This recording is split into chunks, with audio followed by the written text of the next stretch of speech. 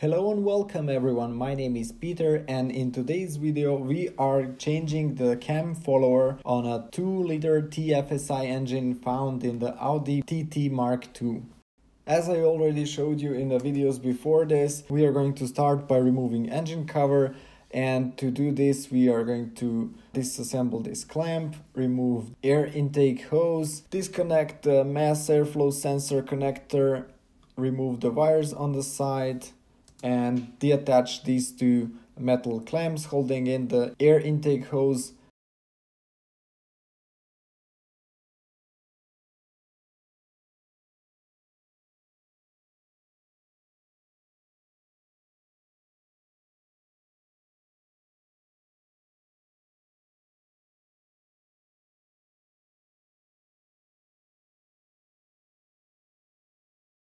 After that, all we need to do is pull really hard upwards on each of the four corners of the engine cover to remove it from the engine.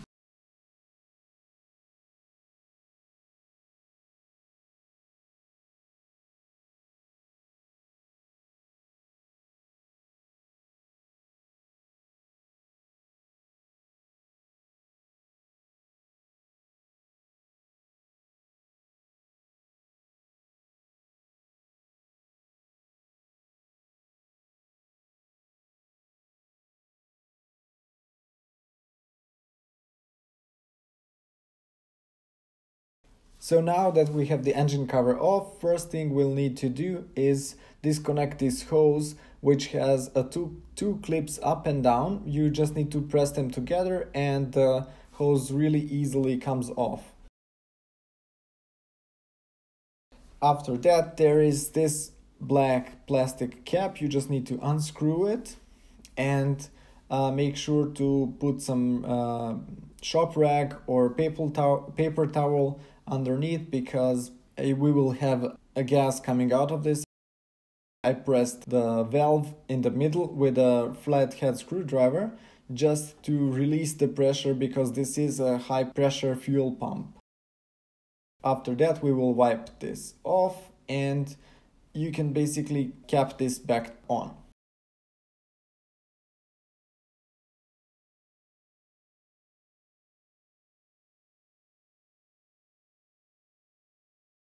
After that we will disconnect this connector. This is a gray connector on this side. You have to be careful not to break any clips. Put it on the side. There is one more connector on the top of the high pressure fuel pump. Same procedure, just uh, release the clip.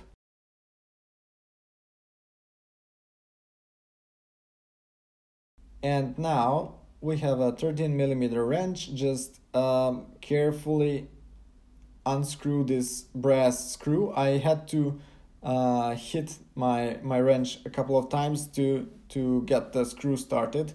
And once again make sure to have a paper towel underneath because there will be some more fuel coming out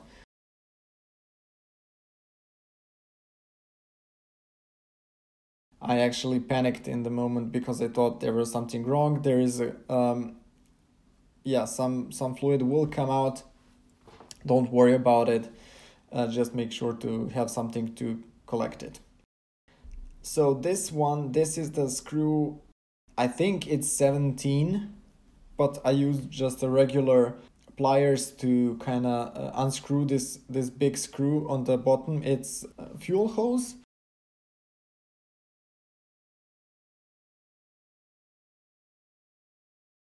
As you can see in this moment, some more gas sprayed out on me, so I panicked once again, took a paper towel and continued unscrewing the screw. After that, there wasn't any more fuel coming out, but it is always a good thing to have a paper towels when you're working on stuff like this, just to keep uh, the rest of the engine clear. I'm holding the hand, so if it sprays once again, I don't, I don't get it in my face now that we disconnected this um, pipe there is one more hose on the left side right next to it but you don't have to disconnect it i i successfully uh, replaced the cam follower without disconnecting this hose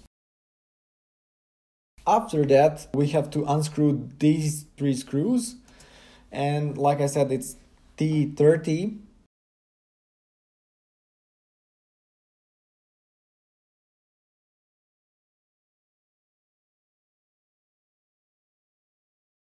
They are the same length, so you don't have to worry about uh, mixing them.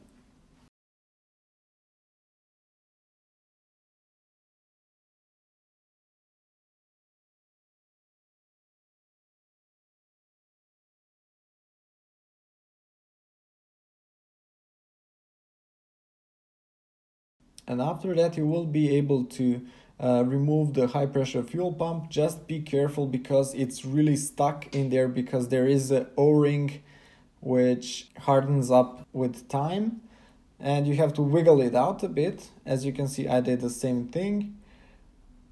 And make sure you don't strain the hose that we didn't disconnect. So just pull the pump as as much as you need to get it out of the way and put it on the side.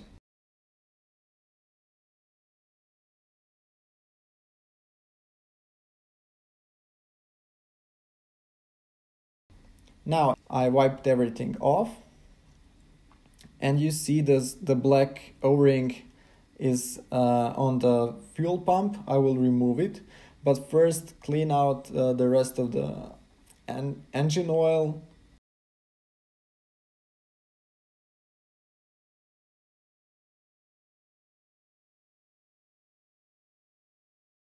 To remove the cam follower you need to to put your finger inside and kind of try to pull it out but be very careful careful because it's oily and it's really slippery so you have to have uh, rubber gloves.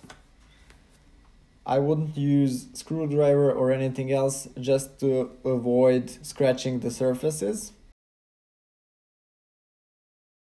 Now you can see how old cam follower looks like and in my case it wasn't that bad. I had 125,000 kilometers and you can see that it is kind of worn out in the middle. As well on the inside there is a worn out spot just in the middle. As you can see it's mirror finish instead of hard coat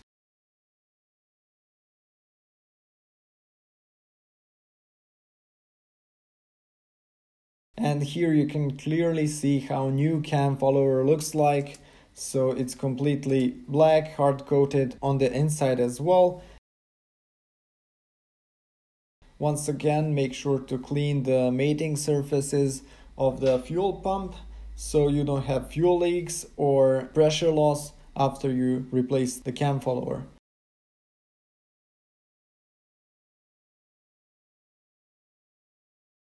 Now I'm going to remove the old O-ring, which actually is going to break. Also make sure to clean out the groove so the new O-ring sits in properly.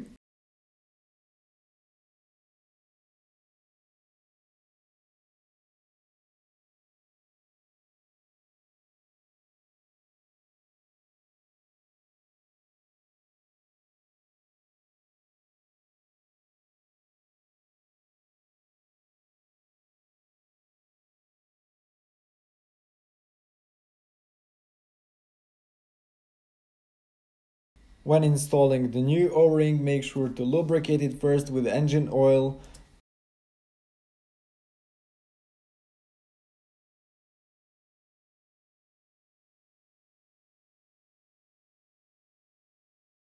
As well as the cam follower before installing it, all surfaces uh, should be lubricated in order to avoid scratches place the new cam follower inside. And after that it's basically just replacing the high pressure fuel pump back inside make sure it fits first. Uh, there's nothing in the way. All the hoses are where they should be. And then press with a firm pressure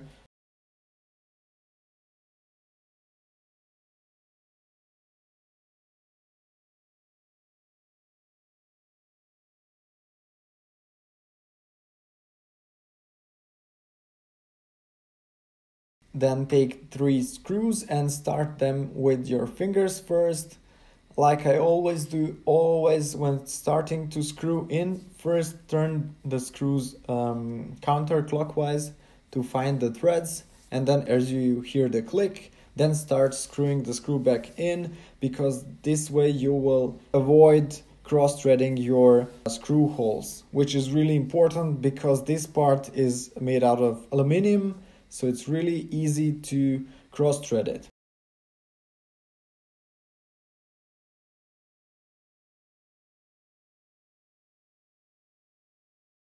Like I said, all three screws first with fingers just to get everything in place.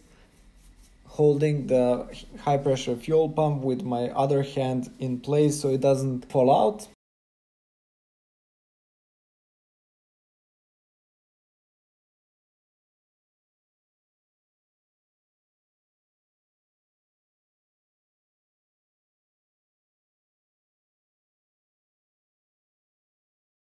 And after that you can easily use your wrench to tighten all three screws.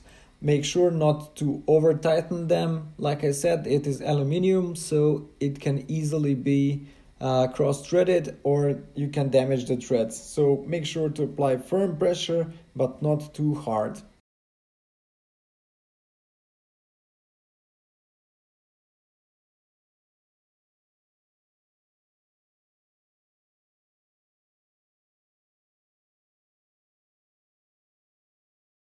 Now that we have our fuel pump back into the engine, what we need to do is screw back the lower fuel pipe in. It has a like a ball head, so make sure to, to place the ball head into the screw before attaching the nut. Obviously it takes some time because it is really tight space here. So start it with your fingers and once you have it on just tighten it with your pliers.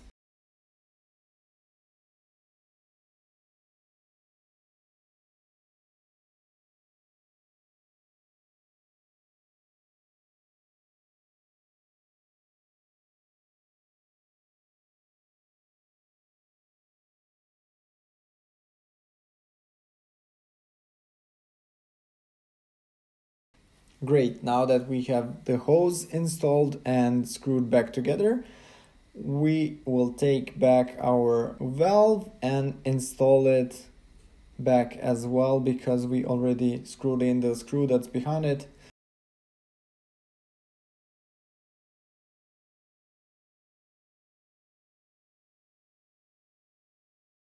We are almost done. All that's left is now to connect two connectors back to the fuel pump.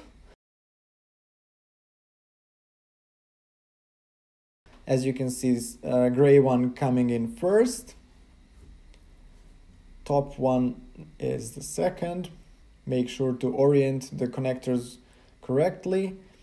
And one more thing before is to get this hose back to our PVC valve make sure it clicks so we, we know it's back in place. And that's basically it. All that's left to do is to get our engine cover back in and as you already saw this in the previous videos it's just a basic procedure in reverse order of how we started get the cover back in connect two intake hoses one with a clamp and one and the other one uh, with two silver ones and connect the mass airflow sensor connector back to the cover.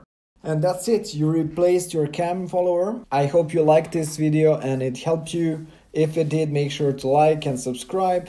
If you have any questions or any advices you would like to, to share with me, make sure to do it in the comments down below. And until next video, take care. Bye.